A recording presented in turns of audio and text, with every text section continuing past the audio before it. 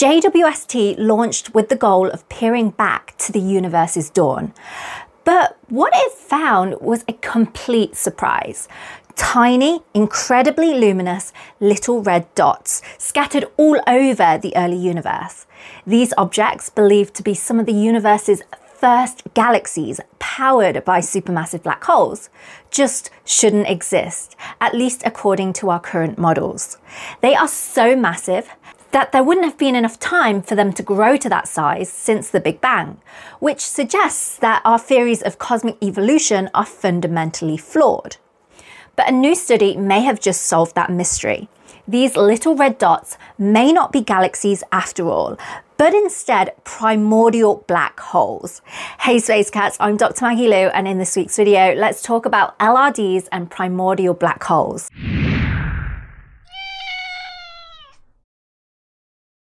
It was surprising when the James Webb Space Telescope, JWST, first found the little red dots. 341 of them so far but they are extremely difficult to observe, even with JWST. This is the very limit of the telescope's observing capability.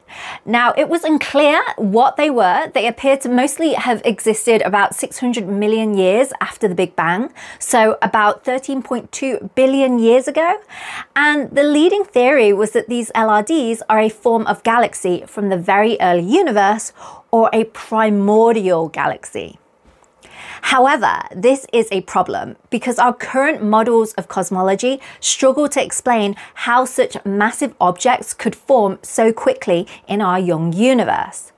Their extreme brightness and red colour are very unusual, and some models even suggest that their mass is overestimated by up to two orders of magnitude.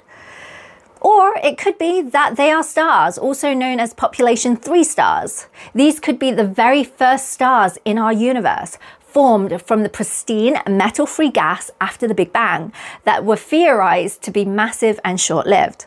Now, new results from one particular little red dot may change everything. It's called Abell 2744 QSO1 or simply QSO1 and it's a strongly lensed object at a redshift of 7.04, which places it at about 28 billion light years away today. Now that's incredibly far, and the only reason that we see it at all is thanks to gravitational lensing. QSO1 sits behind Pandora's cluster, Abell 2744, whose enormous mass bends and amplifies the light from this distant object. In fact, the cluster's gravity is so strong that it produces three separate images of QSO1. This is the most distant gravitationally lensed object ever found. Astronomers have known about it since the early JWST observations in 2022, and there were hints that it could contain an accreting black hole, so a black hole that is actively feeding on gas and dust around it. Those claims, however, were based on the virial theorem, and this is a principle that links the motion of gas or stars to the mass of the object holding them in place. It's one way that we use to estimate the masses of black holes nearby. But applying it to galaxies so far away is kind of risky, since we don't know if the same relations and physics still hold in that very early universe. The study used JWST's high resolution NIRSpec integral field spectroscopy to measure how gas is moving around QSO1. In astronomy, we often track this motion using emission lines. So these are bright signatures in the spectrum produced when atoms in hot gas emit light at very specific wavelengths. Now, one of the strongest of these is the H alpha line, which comes from hydrogen, the most common element in the universe. This figure shows what that H alpha emission looks like. The left panel maps the brightness of the narrow H alpha line, essentially showing where the glowing hydrogen gas is concentrated. The dashed green ellipse marks the size and shape of JWST's blurring effect, known as the point spread function, the PSF. And the smaller red ellipse shows the positional accuracy of the measurement.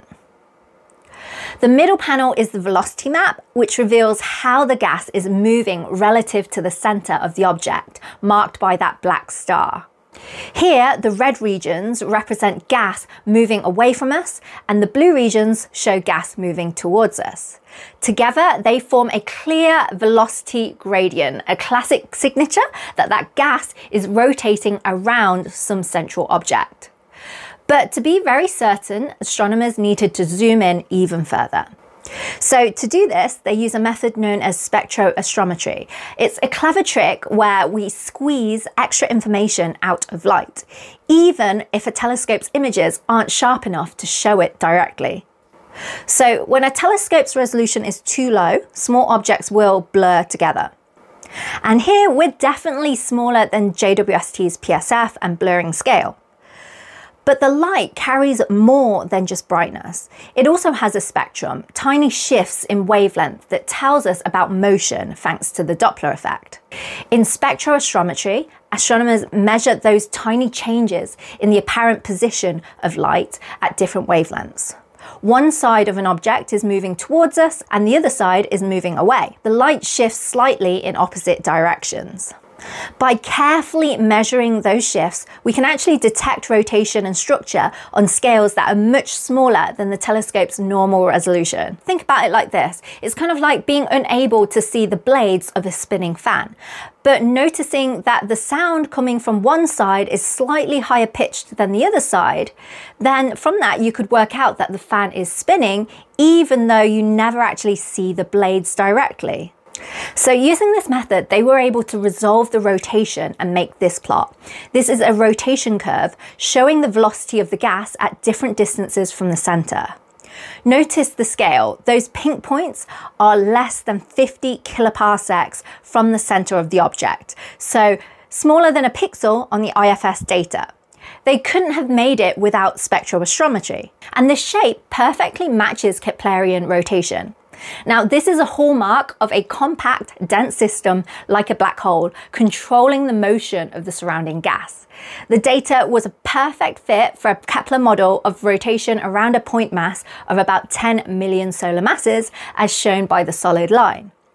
But this is also a lower limit since they don't know the inclination or the orientation of the rotation. It didn't fit well to other models like it being a nuclear star cluster, as you can see by the dotted line. So to get a more complete and robust measurement, they measured an independent analysis using MOKA3D, a more sophisticated 3D kinematic modeling tool. And this tool accounts for instrumental effects such as the point spread function, the PSF, as well as the inclination of the rotating disk. And with this method, they estimated the inclination of the rotating disk to be about 52 degrees, placing the best fit mass at log mass of 7.7, which is about 50 million solar mass masses. The Kepler rotation curves don't leave much room for any stellar components, and they actually measure the amount of stars from the UV light and find that just 20 million solar masses is in the form of stars.